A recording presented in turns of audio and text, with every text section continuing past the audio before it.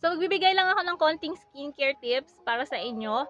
Um, isi-share ko lang yung mga skincare tips na pinapractice ko and ginagawa ko. Disclaimer, hindi ako expert ha. I-share ko lang sa inyo kung ano yung alam ko and ano yung mga ina-apply ko sa sarili ko. So, number one, drink a lot of water. Hindi lang naman para sa skin, kundi sa buong katawan natin. Importante na makainom tayo ng 8 glasses of water every day. So, hindi lang skin natin ang mapapahealthy niyan, kundi yung buong katawan natin. Din sa hair. So, importante na nakakainom tayo ng 8 glasses of water a day. Tip number 2, apply lotion non-stop daily. And, i-apply nyo siya pagtapos na pagtapos maligo. Yung towel dump pa lang yung balat ninyo. Medyo basa-basa pa siya. Huwag nyo na hintayin na matuyo ng tuluyan yung balat nyo from shower. Um, towel dump pa lang, mag-apply na kayo ng lotion. Apply generous amount.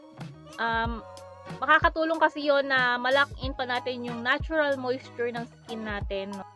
And yun nga, use lotion with SPF kapag lalabas kayo ng bahay para maprotektahan tayo against from the sun.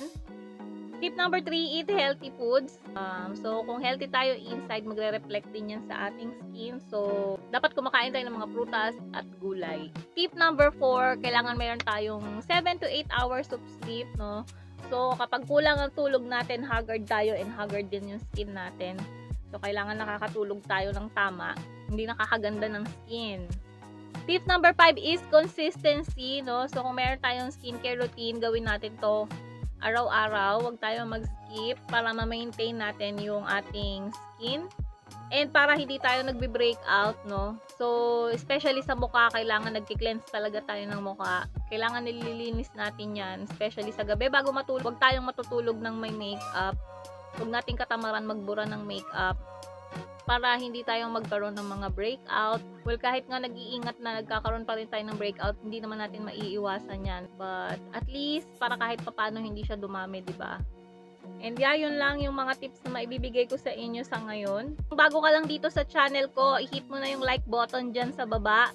Mag-subscribe ka na rin at i-hit mo yung notification bell para lagi kang updated sa mga bago kong videos. Bye! Thank you for watching. Don't forget to love yourself.